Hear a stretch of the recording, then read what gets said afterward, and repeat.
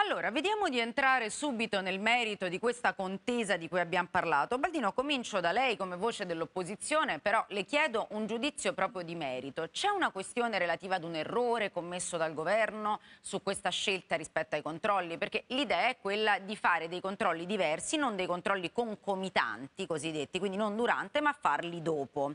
Qualcuno dice questo è un modo di evadere i controlli, rischiamo di spendere male questi soldi. Lei la pensa così o pensa che sia una questione pregiudiziale? Ma guardi, io penso che il punto centrale sia quello che ha rilevato la Corte dei Conti qualche settimana fa, che poi ha fatto emergere il contrasto tra il governo e la Corte dei Conti, che poi è culminato con questo intervento che di fatto eh, fa sì che il governo sfugga da questo controllo concomitante, cioè che cosa significa? In corso d'opera, uh mhm. -huh. controllo concomitante che può essere richiesto anche dal Parlamento, quindi in un solo colpo il bavaglio si mette non soltanto alla Corte dei Conti ma anche al Parlamento, alle commissioni parlamentari che possono adire la Corte dei Conti per chiedere un controllo in corso d'opera. Perché il punto centrale è quello? Perché qualche settimana fa la Corte dei Conti ci ha detto che il governo è in estremo affanno sul PNRR e che nel 2023 sono stati spesi soltanto stato speso soltanto un miliardo e due rispetto a circa 30 miliardi che dovrebbero essere spesi fino alla fine dell'anno. E la cosa più importante che ci dice Quindi lei dice, aspetti, ritardo, per essere più chiari, tolgono i controlli perché sono in affanno, quindi non hanno affanno. tempo e alla fine tagliano dei controlli che servirebbero. Quindi abbiamo un controllato che dice ai cittadini, ma soprattutto al governo, gli dice attenzione, siete in affanno, datevi da fare, perché altrimenti qua rischiamo di perdere la terza, la quarta, la quinta mm. rata del PNRR. Il, il governo che fa? Invece di accelerare per garantire che quei soldi vengano spesi, che fa? Elimina il controllore, perché evidentemente l'ultima cosa sì. che eh, credo che interessi tantissimo i cittadini rispetto alle polemiche tra la Commissione europea, eccetera, è che le, gli estremi ritardi si registrano particolarmente sulla missione istruzione e educazione, quindi sugli asili nido e sulla missione sanità, cioè le spese più importanti che invece dovrebbero essere messe a terra a Sono quelle su cui siamo più indietro. C'è una dichiarazione del ministro Fitto di poco fa che dice con la Commissione UE il caso sui controlli al PNRR è chiuso. La precisazione di ieri della Commissione risolve la questione.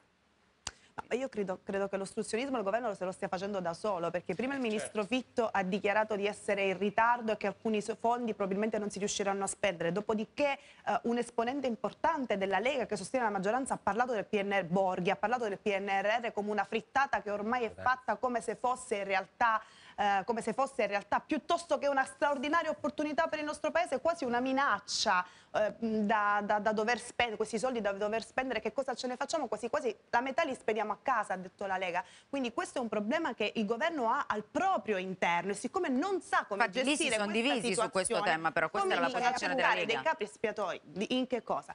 Eh, addirittura il primo è stato Conte che ha portato troppi soldi in Italia, che forse insomma, ha detto Draghi. Addirittura troppi soldi in Italia. Poi la Commissione europea, poi la Corte dei Conti. Beh, no, non l'ha detto solo Draghi, l'hanno detto, detto, detto, l'hanno detto esponenti del governo. Beh, Gentiloni, guardi, qui abbiamo un esponente del PD e io non credo che Gentiloni possa dire una cosa del genere. Va bene, vedremo cosa dice il PD. Noi siamo orgogliosi di aver portato a casa 209 miliardi. Adesso vediamo se il problema è che abbiamo troppi soldi. Il problema è sempre stato che non c'erano risorse risorse per fare le cose importanti. Adesso eh. le risorse ci sono, non riescono a spendere. Il problema chi è? Chi ecco. controlla. Ecco. Come ha detto il ministro Fitto, ma come sapete tutti quanti voi in Parlamento, rispetto ai fondi che noi otteniamo dall'Europa, riusciamo in sei anni uh mhm. -huh. a spenderne il 30%. È un dato storico.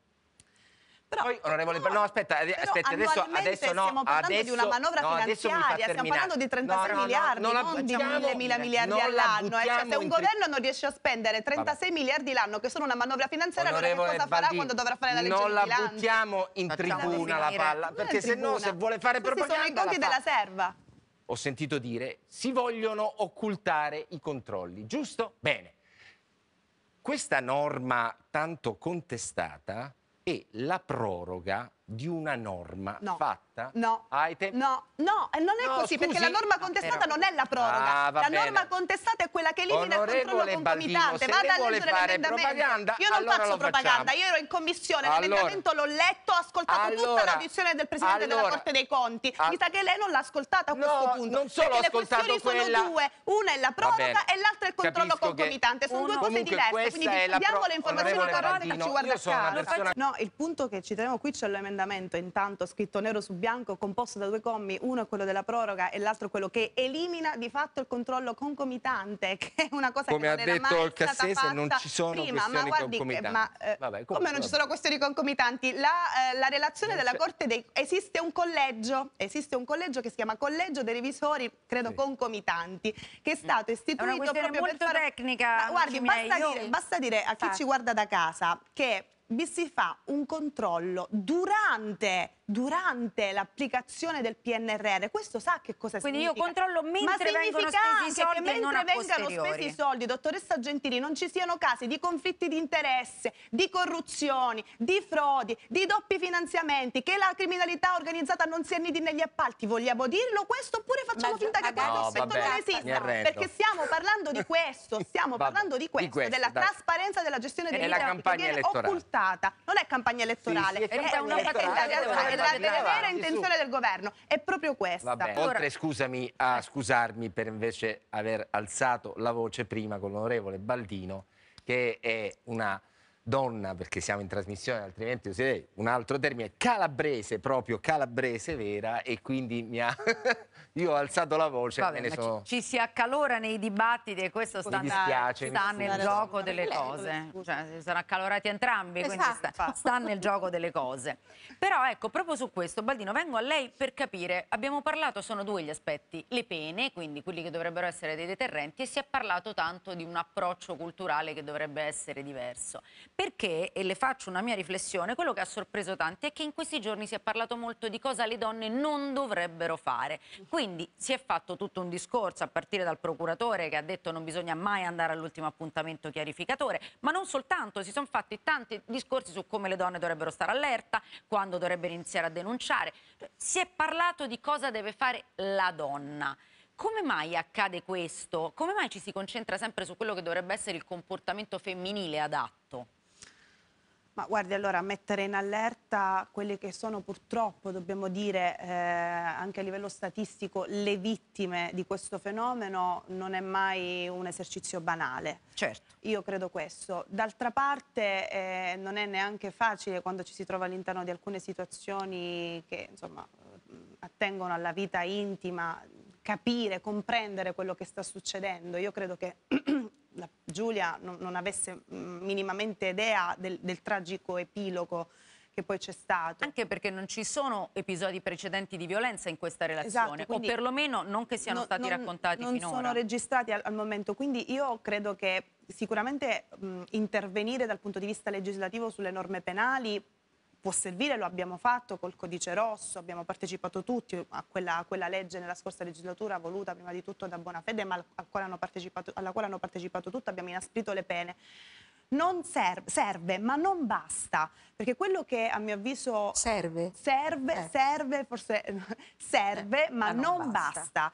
Non basta perché è necessario mh, proprio una- un approccio culturale al fenomeno che inizia sin da bambini, ad esempio introducendo l'educazione all'affettività nelle scuole, perché è vero che qui non c'è un tema di possesso, no?